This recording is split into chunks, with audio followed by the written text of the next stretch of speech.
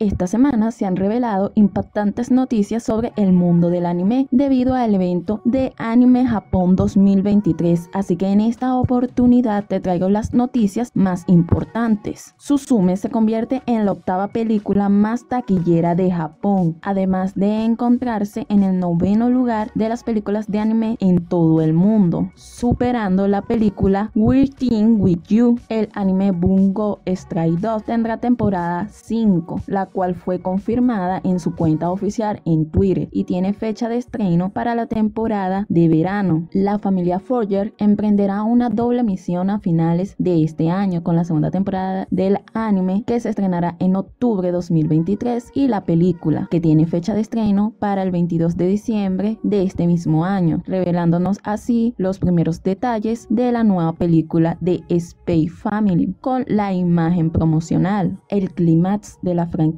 Sailor Moon pronto llegará a los cines de Japón y se lanzó un nuevo tráiler mostrando la batalla final de la Sailor Scout. Recordemos que esta película llegará en el mes de junio y será dividida en dos partes, siendo la continuación de la película Sailor Moon Eterna. Recordemos que esta última película en el anime clásico fue denominado Sailor Moon Star. Uno de los anuncios más importantes del evento Anime Japón 2023 fue la confirmación de la tercera temporada de ReZero Star on Life en Another World, además de revelarnos un teaser y una imagen promocional, aunque aún no se tiene fecha de estreno confirmada. La secuela de los siete pecados capitales, los cuatro jinetes del apocalipsis, ya tiene fecha de estreno y podemos disfrutar del mismo en la temporada de otoño a partir del mes de octubre, además de una nueva imagen promocional y un nuevo tráiler. Las cuentas oficiales de la adaptación al anime de Solo Leveling publicaron el primer tráiler de este anime, además de un arte promocional anunciando así su fecha de estreno para la próxima temporada de anime de invierno. Si te gustan este tipo de noticias, te invito a que veas mi video anterior, además de los shorts en el canal, para que así te enteres de las noticias más relevantes del mundo del anime. My Happy Mirage presentó una nueva imagen promocional y un nuevo video, además de anunciar a los intérpretes de su opening y ending. El opening será interpretado por Riria, teniendo como título a Natano Sobanin, y el ending tendrá a Kachitaro Ito con teniendo como título Ita Philosophy. No hay secretos entre Hori y Miyamura ni entre nosotros, a pesar de que la querida serie 2021 es una adaptación de principio a fin, el anime continuará adaptando historias que anteriormente se omitieron, revelándonos así un nuevo tráiler, su fecha de estreno que es para el mes de julio de este mismo año, además de una imagen promocional donde podemos ver el nombre de la misma, la cual es Jorimilla Peace se revela nuevo tráiler de Kings of the Zodiac,